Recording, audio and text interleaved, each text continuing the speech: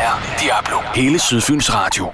Nu har jeg fået besøg her ved morgenbordet af John Trier fra Phoenix Tag og Kai Skølstrup fra Kirkens Kors. Og hvis du har sådan lidt oplevelsen af, at, at det, det hele løber sammen og det gentager sig selv, så er det ikke helt ved siden af, for det var præcis samme bemanding, vi havde i sidste uge. Sidste øh, torsdag, tror jeg det var, I var på besøg her i studiet. Og grunden er jo, at Kirkens Korshærs genbrugsbutikker normalt genererer et stort overskud, der er med til at finansiere driften af varmestuen i Svendborg, som er for områdets udsatte borgere. Og efter I var i studiet, der er kom det en masse. Vi vender tilbage til det politiske øh, lige om lidt. Men øh, jeg ved, der er kommet rigtig meget opbakning. Vi skal tale om, om de øh, penge, der er blevet spyttet i kassen. Men også det her med, at øh, Kirkens Kors her jo er en græsrådsorganisation. Så ideen med at lave den her indsamling er noget, der, der er spredt sig, så man rundt omkring i andre områder også laver indsamling.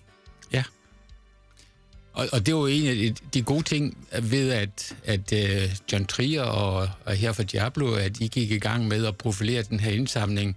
Pludselig så kom der gehør også i andre medier, både aviser og Radio Fyn og TV2 Fyn, og, og, og nu går rygtet ud over hele landet, så, så nu er der andre, der går i gang med at lave indsamling lokalt, fordi det er de lokale man kan forholde sig til. Det er svært at forholde sig til de her 2,5 millioner, som der mangler om ugen. Nej, vi kan forholde os til de 100.000, der mangler i den konkrete by, ja. øh, som her i Svendborg. Og Trier, jeg tror noget af det, der, der for alvor hjælp, var, at du, øh, som du altid gør, sagde, hvad du mente om sagerne. Og sagde, jeg husker, du sagde blandt andet med, at når du gik ned i Løsbodhavnen, kunne du se, at, at det var ikke fordi, der manglede penge i byen, øh, og opfordrede folk til at, at spytte i kassen. Mm-hmm.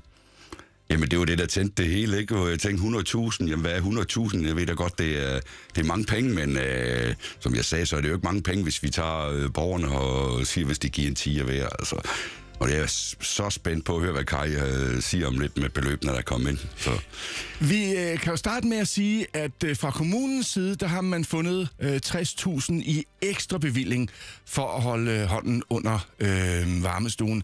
Og øh, det er altså faktisk formanden der øh, for udvalget, der har fundet dem med på forventet efterbevilling. Øh, stor ros til det. Det var Bo Hansen, vores borgmester i studiet, fortælle mere om den anden dag.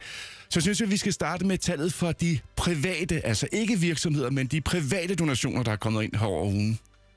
Jamen, der har vi modtaget 46.000 øh, indtil her i morges ja. fra private mennesker i Svendborg og omegn. Altså folk, der har, har set og hørt om det her ting, ja, det... De fleste har sendt dem på MobilePay, nogle enkelte på vores bankbog, og så har der været også nogle stykker forbi øh, varmestuen med, med kontanter. Og så er der jo virksomheden, det var dem tre, du gik meget efter og sagde, at der, der må være nogen, der har nogle, nogle, nogle midler, de kan, de kan undvære. Hvordan er det gået med virksomhedsindsamlingen? Jamen, det er jo gået øh, ret flot. Jeg synes, øh, det, der er svært med virksomheder, det er jo tit, så skal der øh, flere om at bestemme i en virksomhed, hvad vi skal donere til. Så, så indtil videre, så har vi modtaget 69.000 for wow, virksomheder. Wow, var det godt. Ej. Så 115.000 er der kommet indtil nu. Ej, var det flot.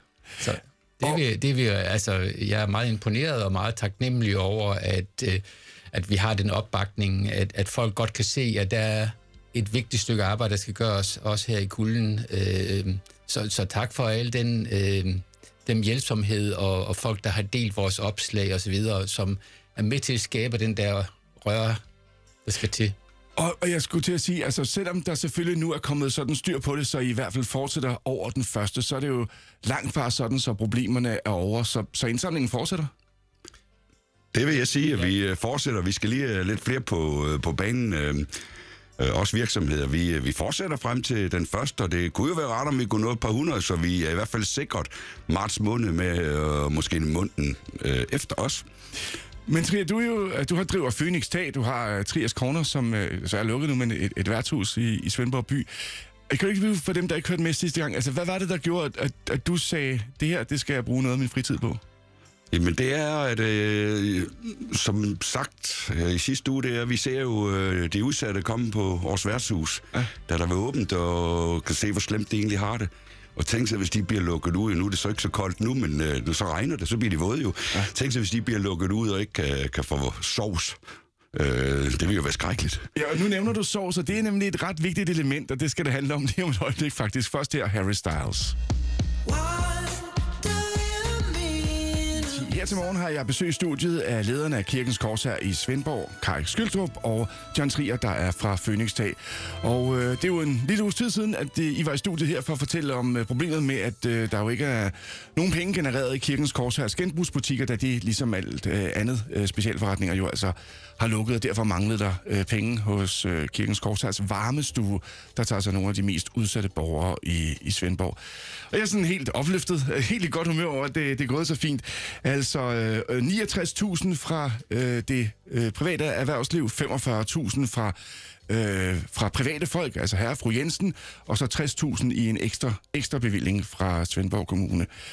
Og, og der kan man jo godt tænke, det er jo fint, så kan man hvile på lavbærne, men jeg ved, at I vil gerne sørge for, at det nu bliver at der lige bliver sådan, siger man på engelsk, en cushion, sådan en ekstra, en, et ekstra membran at, at beskytte imod, hvis der kommer nedlukning øh, lang tid og så videre, ikke? Ja, jeg, jeg, jeg tænker så lidt på det, at vi, vi er nødt til at have til to-tre måneder, fordi uanset hvornår de åbner genbrugsbutikken, så går der lidt, inden det begynder at generere penge. Ikke? Ja. Lad os sige, de får lov at åbne her med udgangen af måneden, så går der alligevel lidt tid, inden der begynder at komme penge ind, og man kommer op i gear. Og, så, og jeg ved, Kai, du siger, at du forventer egentlig også, at der kommer nogle flere penge ind fra virksomhederne, fordi at, at tit er det jo sådan, altså en privatmand kan jo sige, har jeg tænkt mig at bruge nogle af mine sparepenge på det her, men i virksomheder, der er der også en, et hierarki af beslutningsfolk, ikke? I, I nogle virksomheder, som, som ikke bare lige er ejer en privatperson, der skal man jo lige snakke sammen om, er det noget, vi kan finde nogle penge til?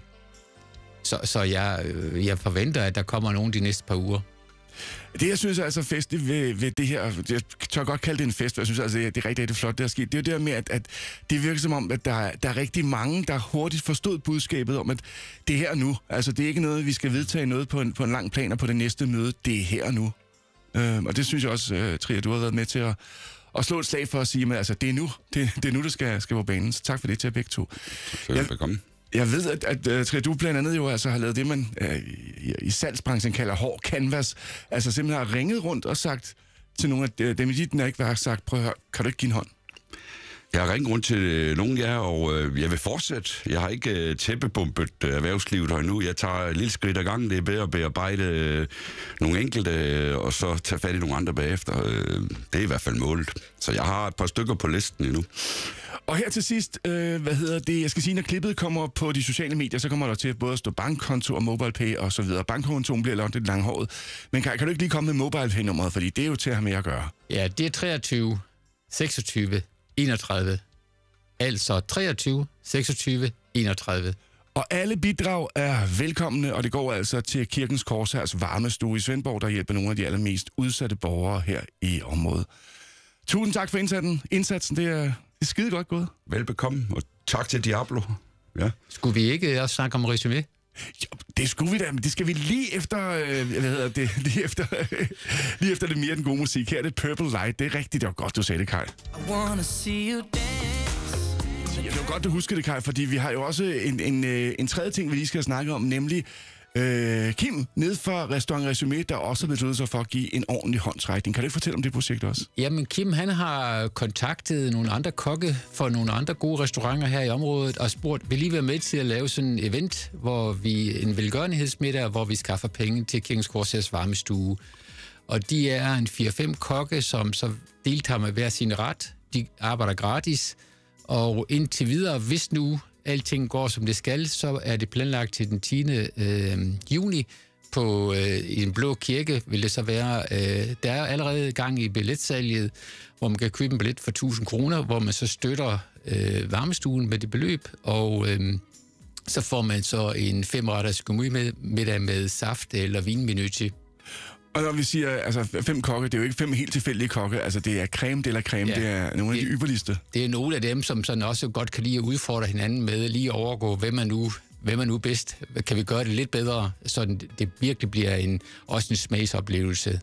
Og medarbejderne på varmestuen siger, ah, kan vi ikke være med? Så de har, så spurgte jeg Kim, om ikke de måtte komme ned og servere. Øh, de kunne godt tænke sig, at de øh, tre medarbejdere fra varmestuen og præsten, så de, de er entrerer med at være servicepersonale den aften. Hvordan kommer man med til den middag? Jamen, man går ind på øh, Resumés øh, hjemmeside og, og booker øh, billetter. Øh, jeg har prøvet, da Kim han sagde det, så tænkte det skal min kone med ned og, og opleve det her. Så jeg har fået billetter. Så det er altså 1000 kroner, og så er det en femretters gourmetmiddag og en udsøgt aften her hen over sommeren i, øh, i Den Blå Kirke. Ja. Hvor vi nok skal få en, en, lavet en god oplevelse ved siden af maden. Og det gode ved det er jo, altså, at man kan købe billetterne nu, så der kommer penge i kassen nu, hvor der er Ja. brug for det. Ja. Og det er inde på Restaurant Resumés hjemmeside, man kan bestille billetterne til det. Det var godt, vi huskede at få det med, Kim. Det var, tak for det. Og øh, så er jeg jo altså bare tilbage og ønsker jer fortsat held og lykke med, med de forskellige grene af projektet. Vi håber, der kommer meget mere i kassen. Tak skal du have. Vi elsker hele Sydfyn. Diablo. Diablo.